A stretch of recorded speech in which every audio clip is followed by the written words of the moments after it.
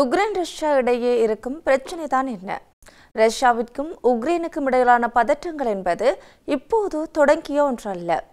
இரண்டாயிரத்தி பதினான்கில் உக்ரைனின் ரஷ்ய சார்பு அதிபர் விக்டர் ஜானுகோவிச்சை பிரெட்சியிலிருந்து வெளியேற்றிய போது ரஷ்யாவிற்கும் உக்ரைனுக்கும் இடையிலான பதற்றங்கள் உச்சகட்டத்தை அடைந்தது. இந்த இரண்டு நாட்டுக்கும் இடையே எல்லை பிரச்சினை நீண்ட காலமாக உள்ளது. இதற்கு காரணம் நேட்டோ அமைப்பில் இணைய உக்ரைன் இணைப்பதுதான்.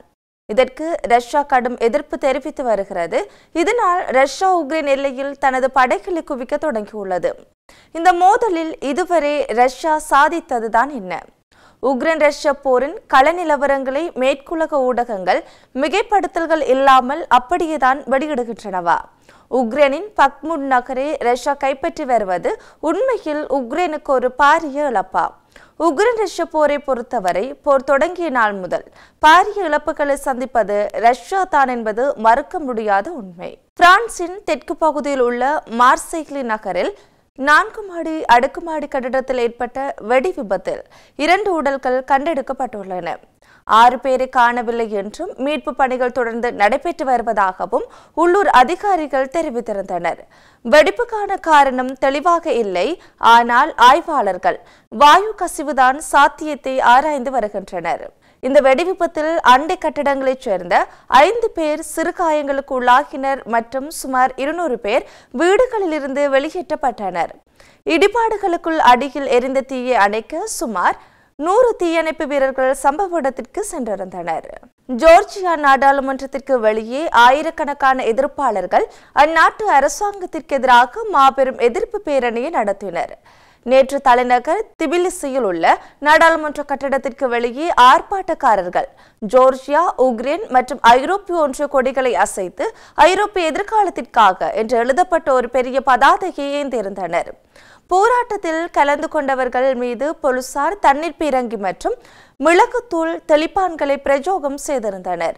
சிறையில் அடைக்கப்பட்டுள்ள முன்னாள் ஜனாதிபதி மிகல் சகாசவிலிக்கு ஆதரவாக பிரதான எதிர்க்கட்சி இந்த பேரணியை ஏற்பாடு செய்திருந்தது. மேலும் ஆளும் ஜோர்ஜியன் ட்ரீம் கட்சி ரஷ்யாவின் கட்டுப்பாட்டில் இருப்பதாகவும் ஜனநாயகத்திற்கு பின்வாங்குவதாகவும் விமர்சகர்கள் குற்றம் சாட்டுகின்றனர். அரசியல் எதிரிகளை சிறையில் அடைப்பதாகவும் சுதந்திரமான ஊடகங்களை வாயடைப்பதாகவும் அரசாங்கம் குற்றம் சாட்டியுள்ளது.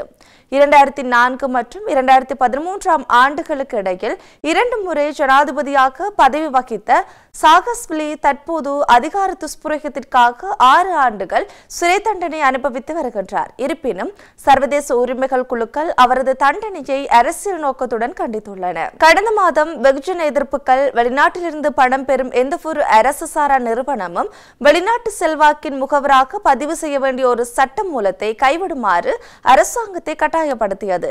எதிர்ப்பை அடக்குவதாக இரண்டாயிரத்தி பன்னிரண்டில் ரஷ்யாவில் அறிமுகப்படுத்தப்பட்ட சட்ட மூலத்தை மாதிரியாக கொண்டு இந்த சட்ட மூலம் உருவாக்கப்பட்டுள்ளது என்றும் இது சர்வதிகாரத்தை நோக்கிய ஒரு படி என்றும் எதிர்ப்பாளர்கள் தெரிவித்தனர். ரஷ்ய போர் விமானம் ஒன்று கடந்த ஆண்டு பிரித்தானிய கண்காணிப்பு விமானத்தை கருங்கடலில் சுட்டு வீழ்த்தியதாக சமூக ஊடகங்களில் பரவி வரும் பென்டகன் ஆவணத்தின்படி தெரிய வந்துள்ளது. இதேவேளை பென்டகன் துணை செய்தி செயலாளர் சப்ரினா பாதுகாப்புத்துறை இந்த விடயத்தை தீவிரமாக ஆய்வு செய்து வருகிறது. மேலும் விசாரணைக்காக நீதித்துறைக்கு முறையான பரிந்துரையை செய்துள்ளது என தெரிவித்துள்ளார். மேலும் விமானம் சுட்டு வீழ்த்தப்பட்ட சம்பவத்தை பிரித்தானிய பாதுகாப்பு அமைச்சர் கடந்த ஆண்டு அக்டோபரில் கூறியுள்ளார். குறித்த தகவல் வேறு விதமாக சென்றிருந்தால் நேட்டோவுடன் ஒரு பரந்த சண்டையை தூண்டிவிடக்கூடும்.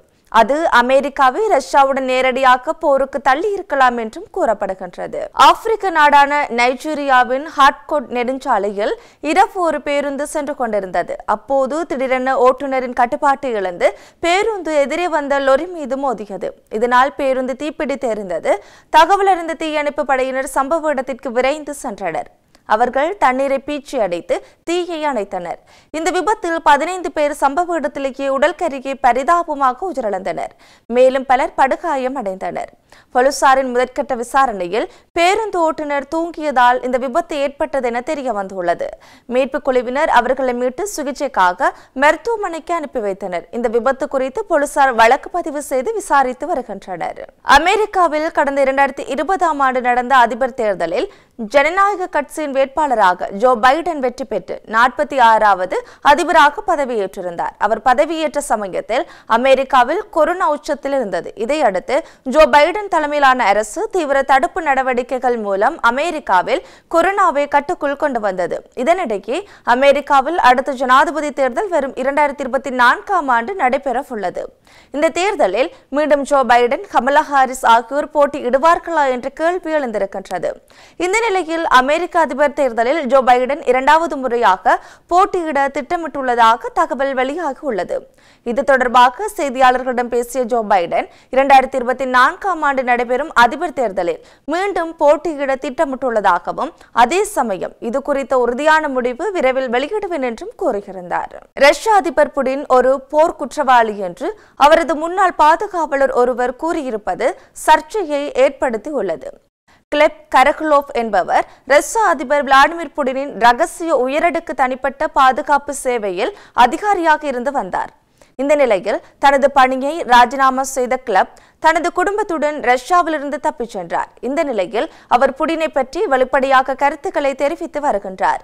தனது செயல் ரஷ்யர்களை பொதுவெளியில் வெளிப்படையாக பேச வைக்கும் என அவர் நம்புகிறார். சமீபத்தில் நிகழ்வொன்றில் பேசிய கிளப் நமது ஜனாதிபதி ஒரு போர் குற்றவாளியாகிவிட்டார். இந்த போரை முடிவுக்கு கொண்டு வந்து அமைதி ஏற்பட வேண்டிய நேரம் இது. உங்களுக்கு தெரியுமா?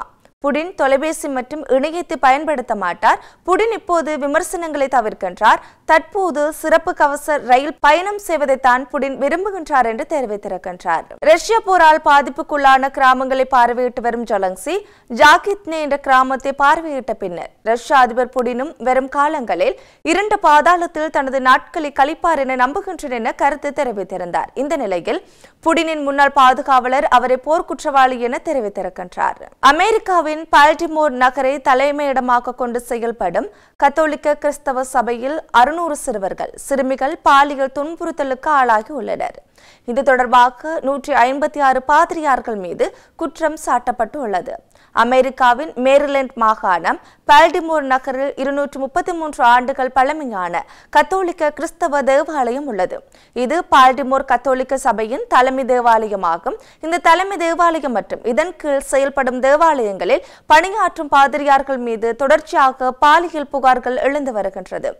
இந்த விவகாரம் தொடர்பாக மேரிலேண்ட் அட்டர்னி ஜெனரல் கடந்த இரண்டாயிரத்தி பதினெட்டாம் ஆண்டில் விசாரணையை தொடங்கினார். கடந்த நான்கு ஆண்டுகளாக நடைபெற்ற விசாரணையின் அடிப்படையில் அட்டர்னி ஜெனரல் அந்தோனி பிரவுன் அண்மையில் நானூற்று அறுபத்தி மூன்று பக்கங்கள் கொண்ட விரிவான அறிக்கையை வெளியிட்டிருந்தார். அதில் பல்வேறு அதிர்ச்சி தகவல்கள் வெளியாக உள்ளது. அமெரிக்காவின் முதல் கத்தோலிக்க திருச்சபை பால்டிமோர் திருச்சபை ஆகும் இதன் கீழ் நூற்று ஐம்பத்தி மூன்று தேவாலயங்கள் ஐம்பத்தி ஒன்பது பள்ளிகள் இருபத்தி நான்கு பாதிரியார் பயிற்சி பள்ளிகள் இருபத்தி ஆறு கன்னியாஸ்திரி பயிற்சி பள்ளிகள் செயற்படுகின்றன. பாதிரியார் ஜோசப் உயிரிழந்த பிறகு அவரது பாலியல் அத்துமீறல்கள் ஒவ்வொன்றாக வெளிவந்தன. இதனை அடிப்படையாக கொண்டு இரண்டாயிரத்தி பதினேழாம் ஆண்டு நெட்ஃபிளிக்ஸில் த கீப்பர்ஸ் என்ற தொடர் ஒளிபரப்பானது. பாதிரியார் ஜோசப் உட்பட நூற்று ஐம்பத்தி ஆறு பாதிரியார்கள் குற்றவாளிகள் என்று அட்டர்னி ஜெனரல் அறிவித்துள்ளார். இதில் தற்போது உயிரோடு உள்ள பாதிரியார்கள் மீது கடுமையான நடவடிக்கை எடுக்க வேண்டும் இவ்வாறு தெரசா தெரிவித்துள்ளார். அட்டர்னி ஜெனரல் அறிக்கையில் குற்றம் சாட்டப்பட்டுள்ள பாதிரியார்களில் பெரும்பாலானோர் உயிரிழந்து விட்டனர். தற்போது சிலர் மட்டுமே உயிரோடு உள்ளனர். அவர்கள் நீதிக்கு முன்பு நிறுத்தப்படுவார்கள் என்று பால்டிமோர் நீதிபதி டெய்லர் உறுதி அளித்துள்ளார். தவறிழைத்த பாதிரியார்கள் உயிரிழந்து விட்டாலும் பாதிக்கப்பட்டோர் துணிச்சலாக புகார் அளிக்கலாம். அது தொடர்பாக வழக்கு பதிவு செய்யப்பட்டு விசாரணை நடத்தப்படும் என்று அட்டர்னி ஜெனரல் அந்தோனி பிரவுன் அறிவித்துள்ளார். அமெரிக்காவைச் சேர்ந்த தன்னார்வ தொண்டு அமைப்பு அண்மையில் வெளியிட்டுள்ள அறிக்கையில் பால்டிமோர் கத்தோலிக்க திருச்சபை பாதிரியார்கள் மட்டுமின்றி ஏராளமான கிறிஸ்தவ சபைகளைச் சேர்ந்த பாதிரியார்கள் சிறுவர் சிறுமிகளை பாலியல் ரீதியாக துன்புறுத்தி வருகின்றனர். கடந்த ஆயிரத்தி தொள்ளாயிரத்தி ஐம்பது முதல் இரண்டாயிரத்தி பதினெட்டாம் ஆண்டு வரையிலான புள்ளி விவரங்களின்படி சுமார் ஏழாயிரத்து இரண்டு பாதிரியார்களை குற்றவாளிகளாக கண்டறிந்துள்ளோம் என்று தெரிவித்துள்ளனர்.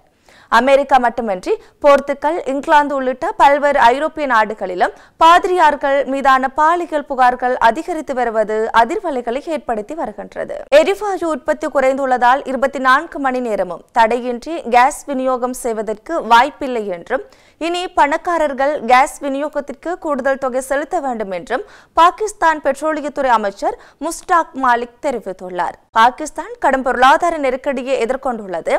கடன் சுமை அதிகரித்துள்ளதால் அதன் அந்நிய செலாவணி கையிருப்பு குறைந்துள்ளது.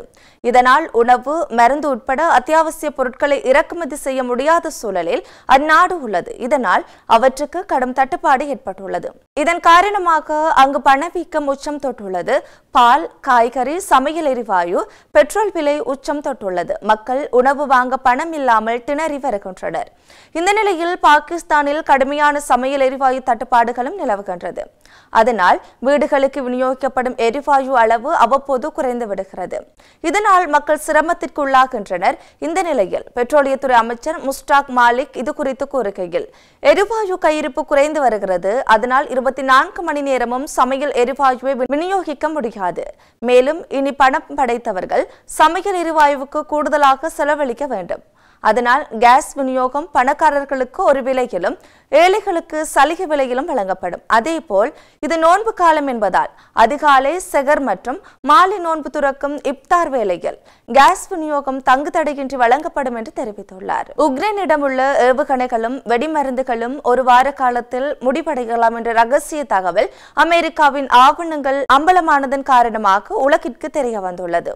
தற்போதைய வேகத்தில் அவற்றை பயன்படுத்தினால் அவை மே இரண்டாம் திகதி அளவில் முடிவடைந்து விடும் என அந்த ஆவணத்தில் தெரிவிக்கப்பட்டுள்ளது. கசிந்துள்ள பெண்டகனின் ஆவணங்களின் உண்மைத்தன்மையை உறுதி செய்ய முடியாத நிலை காணப்படுகின்றது. இது குறித்து ஆராய்ந்து வருவதாக தெரிவித்துள்ளது.